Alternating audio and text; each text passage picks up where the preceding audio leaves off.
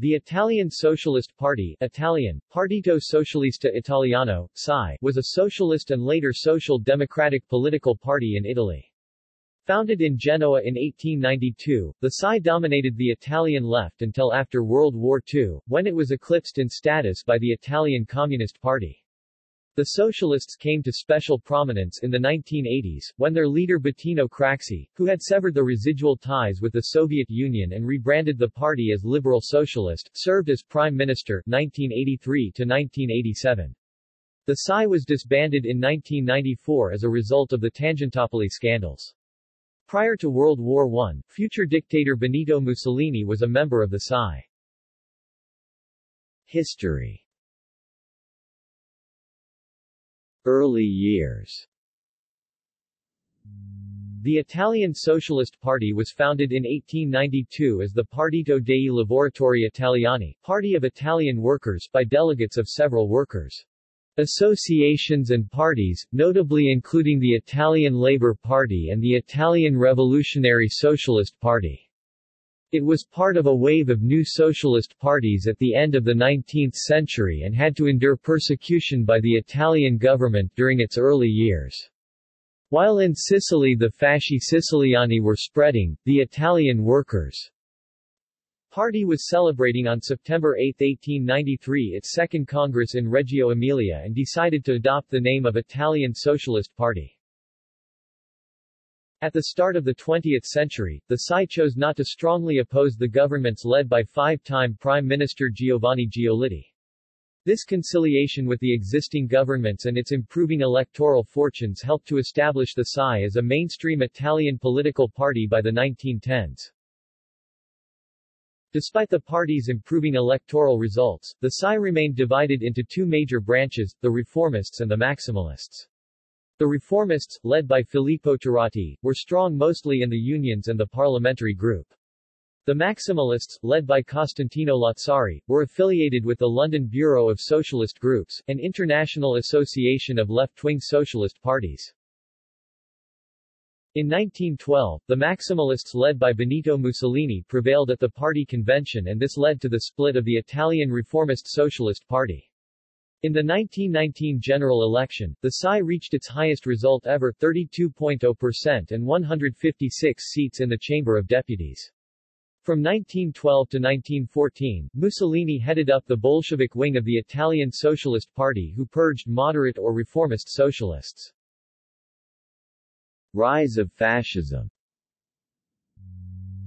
World War I tore the party apart. The Orthodox Socialists were challenged by advocates of national syndicalism, who called for revolutionary war to liberate Italian-speaking territories from Austrian control and force the government by threat of violence to create a corporatist state.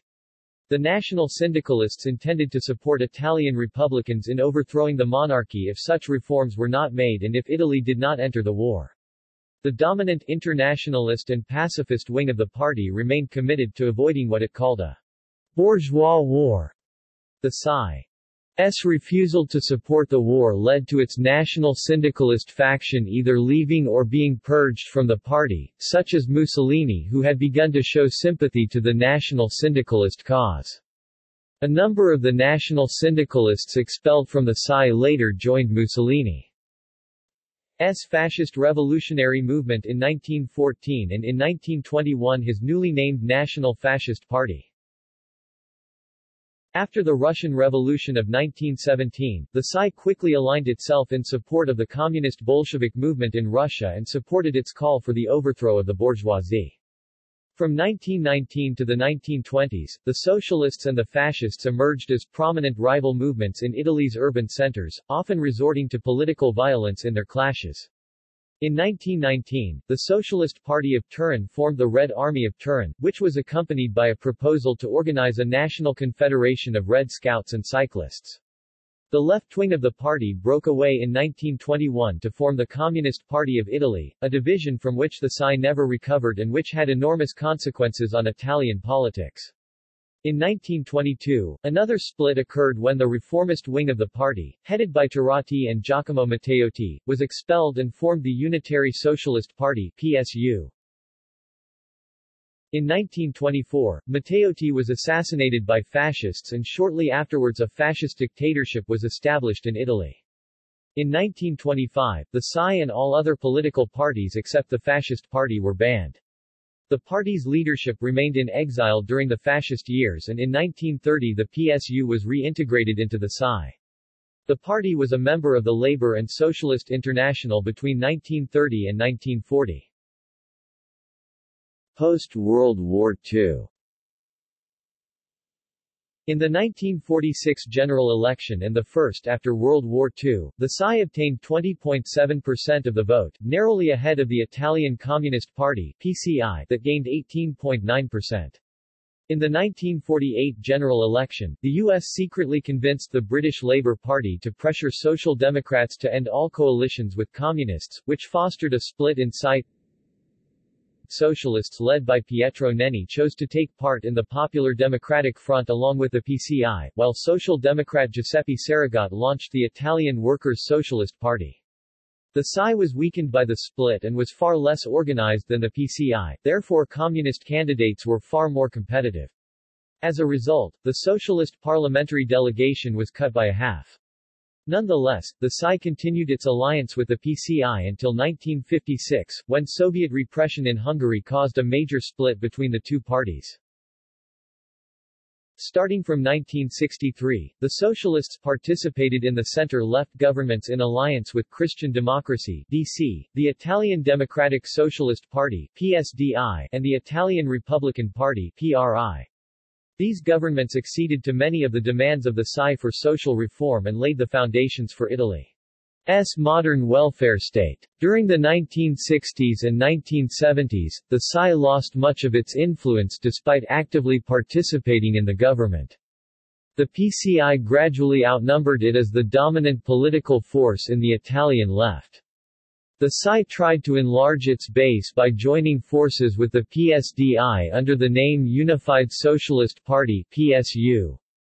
However, after a dismaying loss in the 1968 general election in which the PSU gained far fewer seats in total than each of the two parties had obtained separately in 1963, it disbanded.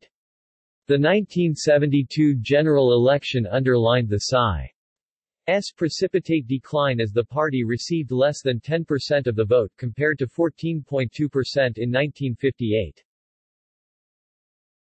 Bettino Craxi In 1976, Bettino Craxi was elected new secretary of the party. From the beginning, Craxi tried to undermine the PCI which until then had been continuously increasing its votes in elections and to consolidate the PSI as a modern, strongly pro-European reformist social democratic party, with deep roots in the democratic left wing. This strategy called for ending most of the party's historical traditions as a working-class trade union-based party and attempting to gain new support among white-collar and public sector employees. At the same time, the PSI increased its presence in the big state-owned enterprises and became heavily involved in corruption and illegal party funding which would eventually result in the Mani Pulite investigations. Even if the PSI never became a serious electoral challenger either to the PCI or the DC, its pivotal position in the political arena allowed it to claim the post of Prime Minister for Craxi after the 1983 general election.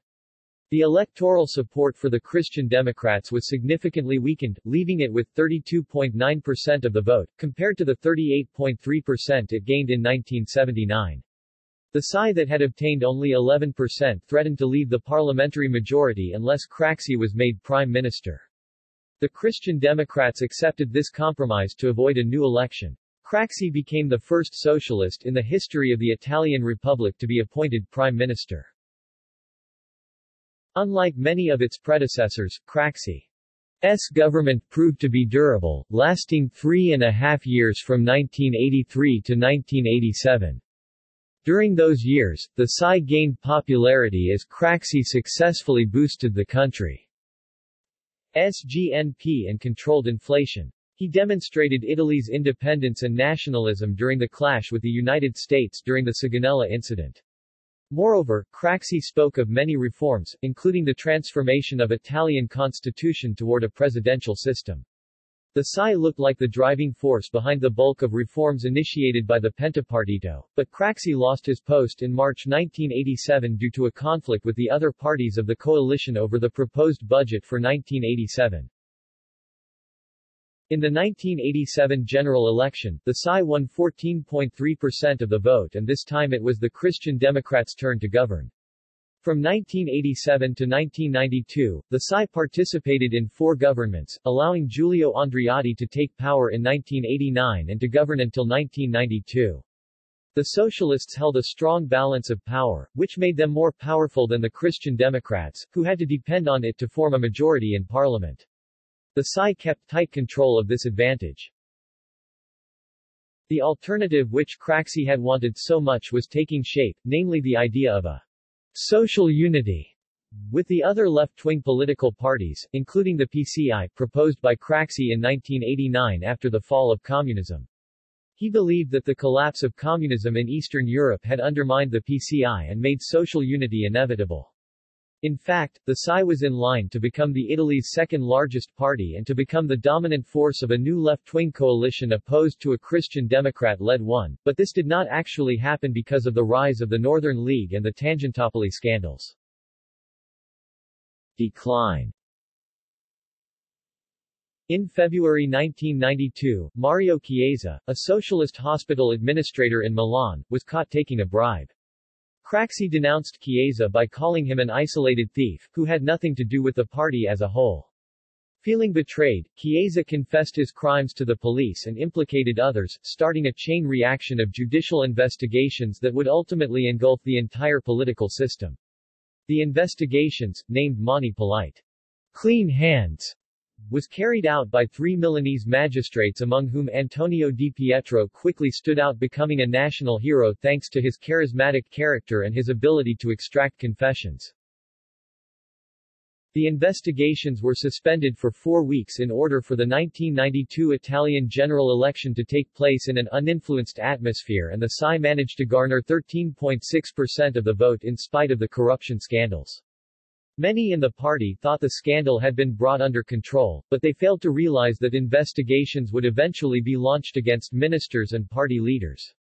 Furthermore, as early as May 1992 public opinion unconditionally supported the magistrates against a political system that the majority of Italians already distrusted. Craxi himself was under criminal investigation since December 1992. In April 1993, the parliament denied four times the authorization for magistrates to continue investigation for Craxi. Italian newspapers shouted scandal and Craxi was besieged at his Rome residence by a crowd of young people, who threw coins at him, shouting, Bettino, do you want these as well? This scene was to become one of the many symbols of that period. In 1992-1993, many socialist regional, provincial and municipal deputies, MPs, mayors and even ministers found themselves overwhelmed with accusations and arrests. At this point, public opinion turned against the socialists and many regional headquarters of the PSI were besieged by people who wanted an honest party with true socialist values. Between January 1993 and February 1993, Claudio Martelli, former Justice Minister and Deputy Prime Minister, started to contend for party leadership. Martelli stepped forward as a candidate, emphasizing the need to clean the party of corruption and make it electable.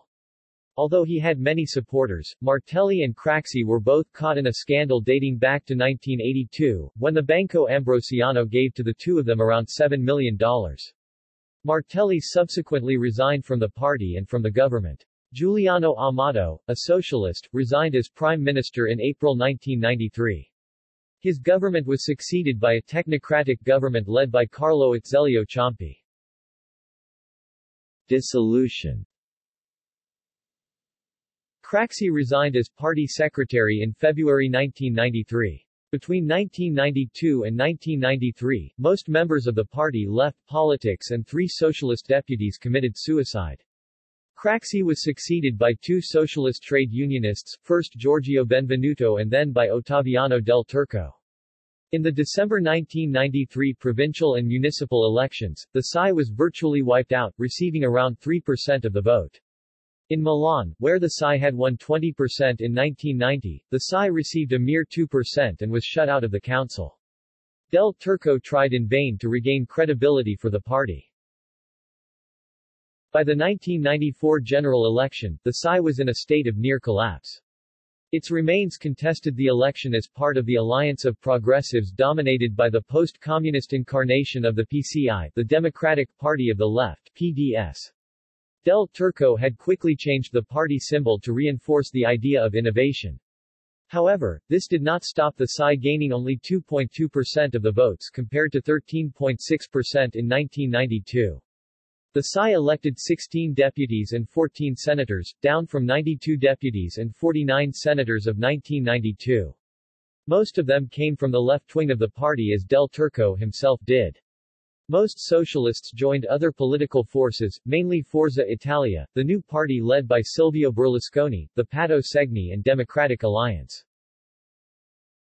The party was disbanded on 13 November 1994 after two years of agony in which almost all of its longtime leaders, especially Bettino Craxi, were involved in Tangentopoli and decided to leave politics. The 100-year-old party closed down partially thanks to its leaders for their personalization of the PSI. Diaspora the Socialists who did not align with the other parties organized themselves in two groups, the Italian Socialists SI of Enrico Boselli, Ottaviano del Turco, Roberto Villetti, Riccardo Nencini, Cesare Marini and Maria Rosaria Manieri, who decided to be autonomous from the PDS, and the Labor Federation FL of Valdo Spini, Antonio Ruberti, Giorgio Ruffolo, Giuseppe Parisu, Carlo Carli and Rosario Olivo, who entered in close alliance with it. The SI eventually merged with other socialist splinter groups to form the Italian Democratic Socialists SDI in 1998 while the FL merged with PDS to form the Democrats of the Left DS later on that year. Between 1994 and 1996, many former socialists joined Forza Italia as did Giulio Tremonti, Franco Frattini, Massimo Baldini and Luigi Cesaro. Gianni de Michelis, Ugo Intini and several politicians close to Bettino Craxi formed the Socialist Party while others like Fabrizio Cicchitto and Enrico Manca launched the Reformist Socialist Party. In the 2000s, two outfits claimed to be the party's successor, namely the Italian Democratic Socialists SDI that evolved from the Italian Socialists SI and the new Italian Socialist Party NPSI founded by Gianni de Michelis, Claudio Martelli and Bobo Craxi in 2001. However, both the SDI and the NPSI were minor political forces. A number of socialist members and voters joined the center-right Forza Italia while others joined the DS and Democracy is Freedom, the DAISY, DL. Many others were not members of any party anymore. Some former socialists are still affiliated to the People of Freedom PDL, while others are in center-left Democratic Party PD, and modern-day Socialist Party PS. The socialists who joined Forza Italia include Giulio Tremonti, Franco Frattini, Fabrizio Cicchitto, Renato Brunetta, Amalia Sartori, Francesco Musotto, Margherita Boniver, Francesco Colucci, Raffaele Iannuzzi, Maurizio Sacconi, Luigi Cesaro and Stefania Craxi. Although it may seem unusual for self-identified socialists to be members of a center-right party, many of those who did so felt that the center-left was now dominated by former communists and the best way to fight for mainstream social democracy was through FI PDL.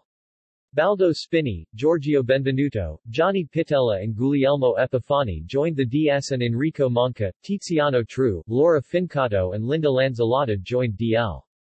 Giuliano Amato joined the Olive Tree as an independent. In 2007, some former socialists, including the SDI, a portion of the NPSI led by Gianni de Michelis, the Italian socialists of Bobo Craxi, Socialism is Freedom of Rino Formica and splinters from the DS joined forces and formed the Socialist Party PS, renamed Italian Socialist Party PSI, in 2011. Nowadays, the PSI is the only Italian party represented in parliament which explicitly refers to itself as socialist, even though many other socialist associations and organization participate to the political debate both in the center-right and the center-left. Popular support When the Socialists came out in the late 1890s, they were present only in rural Emilia-Romagna and southern Lombardy, where they won their first seats of the Chamber of Deputies, but they soon enlarged their base in other areas of the country, especially the urban areas around Turin, Milan, Genoa and to some extent Naples, densely populated by industrial workers. In the 1900 general election, the party won 5.0% of the vote and 33 seats, its best result so far. Emilia-Romagna was confirmed as the Socialist Heartland 20.2% and 13 seats, but the party did very well also in Piedmont and Lombardy. By the end of the 1910s, the Socialists had broadened their organization to all the regions of Italy, but they were obviously stronger in the north, where they emerged earlier and where they had their constituency. In the 1919 general election, thanks to the electoral reforms of the previous decade and especially the introduction of proportional representation in place of the old first-past-the-post system, they had their best result ever 32.0% and 156 seats. The PSI was at the time the representative of both the rural workers of Emilia-Romagna, Tuscany and northwestern Piedmont and the industrial workers of Turin, Milan, Venice, Bologna and Florence. In 1919, the party won 49.7% in Piedmont, over 60% in Novara, 45.9% in Lombardy, over 60% in Mantua and Pavia, 60.0% in Emilia-Romagna, over 70% around Bologna and Ferrara, 41.7% in Tuscany and 46.5% in Umbria. In the 1921 general election and after the split of the Communist Party of Italy, the PSI was reduced to 24.5% and was particularly damaged in Piedmont and Tuscany, where the Communists got more than 10% of the vote. During the Italian resistance, which was fought mostly in Piedmont, Emilia-Romagna and central Italy, the Communists were able to take roots and organize people much better than the Socialists so that at the end of World War II the balance between the two parties was completely changed. In the 1946 general election, the PSI was narrowly ahead of the Communists 20.7% over 18.7%, but it was no longer the dominant party in Emilia-Romagna and Tuscany. In the 1948 general election, the Socialists took part to the Popular Democratic Front with the Italian Communist Party PCI, but they lost almost half of their seats in the Chamber of Deputies due to the better get-out-the-vote machine of the Communists and the split of the Social Democratic faction from the party, the Italian Workers' Socialist Party 7.1%, with peaks over 10% in the socialist strongholds of the north. In 1953, the PSI was reduced to 12.7% of the vote and to its heartlands above the Po River, having gained more votes than the Communists only narrowly in Lombardy and Veneto. The margin between the two parties would have become larger and larger until its peak in 1976, when the PCI won 34.4% of the vote and the PSI stopped at 9.6%. At that time, the Communists had almost five times the vote of the Socialists in the PSI. S ancient heartlands of rural Emilia-Romagna and Tuscany and three times in the northern regions, where the PSI had some local strongholds left such as in northeastern Piedmont, northwestern and southern Lombardy, northeastern Veneto and Friuli Venezia Giulia, where it gained steadily 12 to 20% of the vote. Under the leadership of Bettino Craxi in the 1980s, the PSI had a substantial increase in term of votes. The party strengthened its position in Lombardy, northeastern Veneto and Friuli Venezia Giulia and broadened its power base to southern Italy as all the other parties of Pentapartito coalition Christian Democrats, Republicans, Democratic Socialists and Liberals were experiencing. In the 1987 general election, the PSI gained good result with 14.3% of the vote, but below expectations after four years of government led by Craxi. Alongside the high shares of vote in northwestern Lombardy and the northeast both around 18 to 20%, the PSI did fairly well in Campania 14.9%, Apulia 15.3%, Calabria 16.9% and Sicily 14.9%. In 1992, this trend toward the south was even more evident while the Socialists, like the Communists and the Christian Democrats, had lost votes to Lega Nord especially in Lombardy, they gained in the south, reaching 19.6% of the vote in Campania, 17.8% in Apulia and 17.2% in Calabria. This is why the PSI's main successors, the Italian Socialists, the Italian Democratic Socialists, the new Italian Socialist Party and the modern-day Italian Socialist Party, had always been stronger in those southern regions. Electoral results. Italian Parliament. European Parliament. Leadership Secretary, Pietro Nenni, 1931-1945, Sandro Pertini, 1945-1946, Ivan Matteo Lombardo, 1946-1947, Lelio Basso, 1947-1948, Alberto Jacometti, 1948-1949, Pietro Nenni, 1949-1963, Francesco De Martino, 1963-1968, Mauro Ferri, 1968-1969, Francesco De Martino, 1969-1970, Giacomo Mancini, 1970-1972, Francesco De Martino, 1972-1976, Bettino Craxi, 1976-1993, Giorgio Benvenuto, 1993, Ottaviano del Turco, 1993-1994, Party leader in the Chamber of Deputies, Paolo de Michelis (1946–1947), Pietro Nenni (1947–1964), Mauro Ferri (1964–1968), Flavio Orlandi (1968–1969), Antonio Giolitti (1969–1970), Luigi Bertoldi (1970–1973), Luigi Mariotti (1973–1976), Bettino Craxi (1976), Vincenzo Balsamo, 1976–1980, Silvano Labriola, 1980–1983, Rino Formica, 1983–1986, Lelio Liguorio, 1986–1987, Gianni de Michelis, 1987–1988, Nicola Capria, 1988–1991, Salvatore Ando, 1991–1992, Giuseppe Laganga, 1992–1993, Nicola Capria, 1993–19 1994. Symbols The Psi was rather unusual among mainstream socialist, social democratic parties in Europe in using the hammer and sickle as its symbol. However, the symbolism of the party was gradually moderated. In 1978 Craxi decided to change the party logo of the party. He chose a red carnation to represent the new course of the party, in honor of the Carnation Revolution in Portugal. The party shrank the size of the old hammer and sickle in the lower part of the symbol. It was eventually eliminated altogether in 1985. Further reading Gundle, Stephen 1996. The Rise and Fall of Craxi's Socialist Party. The New Italian Republic, From the Fall of the Berlin Wall to Berlusconi. Routledge. pp. 85-98. References External links Archive of Psi posters